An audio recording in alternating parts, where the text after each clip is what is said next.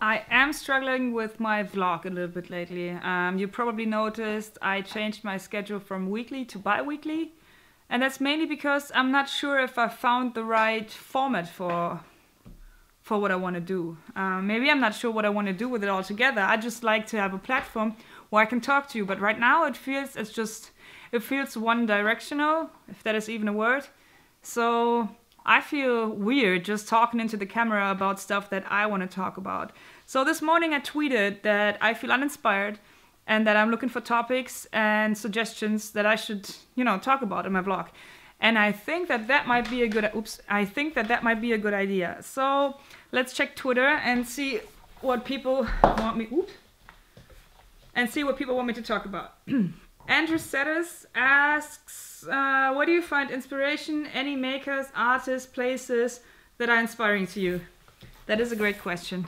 The place that inspires me the most is my workshop.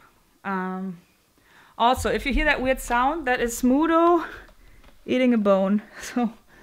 So, good.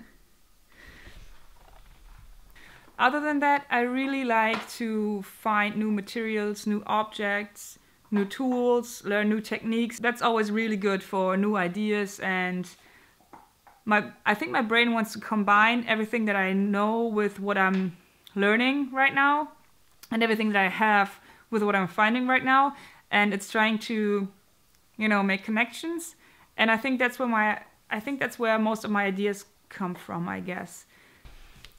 So this morning I was taking Smudo for a walk and there's a huge um, old factory being torn down pretty close to my house. And I was walking by there and I found 12 incredibly nice lamps in the dumpster. And that is very inspiring to me as well. Um, I have this crawl space in my workshop where I can store all the stuff that I find and that people bring me. And that is a very inspiring place as well. Let me, let me show you. Unfortunately, something else lives up here. I always find poo and it smells really bad. I have a couple of those old letters. I really like them. I found that in the trash and I took it with me because of the lights and the switches. That's pretty cool. There's another one behind it. Check it out. And now let me show you the lights that I found. I cleaned them and I think they're all working. That's fantastic. There's some more lights. This is all kinds of random stuff. Oh, look. this thing scares me every time I walk up here. Every time. Okay, let's go downstairs again. It's super smelly up here. Finding those lights this morning really made my day. Oh, I need to show you, I need to show you the card. Check it out. It is really nice. It is really nice. All right, next one. Brian Prusa suggests to talk about being uninspired uh, and ask me if I have a sketchbook for ideas. I do have a sketchbook. It's right here. I'm very particular about my sketchbooks. Um, I think I will show you my collection. Hold on a second. Uh, actually, I actually need to go home for this, so please uh, appreciate the effort I'm taking. So we're going to my home now so I can show you my old sketchbooks. Let's go. This is where I keep my old sketchbooks. I had these little ones when I went to school. Alright, after the bigger format, I switched to the really small ones. So this is probably the last two years of design school. I used these little, these little ones. And then when I quit my job last year in May, I started sketching stuff and writing stuff down again. And now I'm using these. Um, yeah, really like them. All right, so now we're back at the shop. Oop, let's get inside.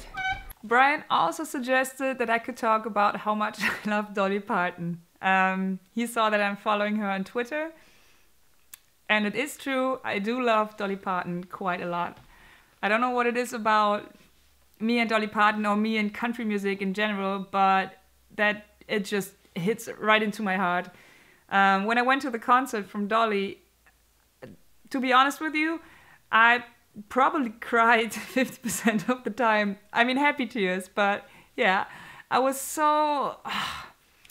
I don't know. It just strikes me right into the heart. I love country music. I love Dolly Parton. I think her story is super inspirational. And I really like her music. And I think it's mind blowing that she's still standing on stage playing 12 different instruments and being such a rock star. Next question is from Paul John. What's your favorite material to work with? That changes all the time. Mm, I think two months ago it was walnut specifically. Um, then it was steel. Now it's brass. I'm really into brass, but I have a slight feeling that the next thing for me will be aluminum. it changes all the time, but it changes back again. So yeah, that's something that's always in flux, and I like it that way. There might be something else happening today, which is well, to me, it feels like a milestone in my YouTube or content creator career. This is super, super big, um, but I don't want to talk about it until I know if it's really happening. So.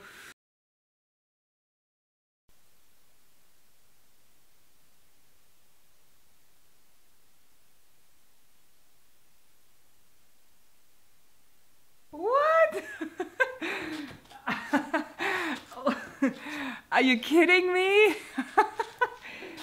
Let me explain. Um, about two weeks ago, Rockler reached out and they told me that they really like my channel and they like my projects and they offered to send me a gift. Well, this is it. oh man, guys, I hope I hope this is right. I hope you I hope this was meant for me because this is great. This is really awesome. Thank you so much for your support. Um, this is, a, like I said before, this is a milestone for me because stuff like that is telling me that I'm heading in the right direction.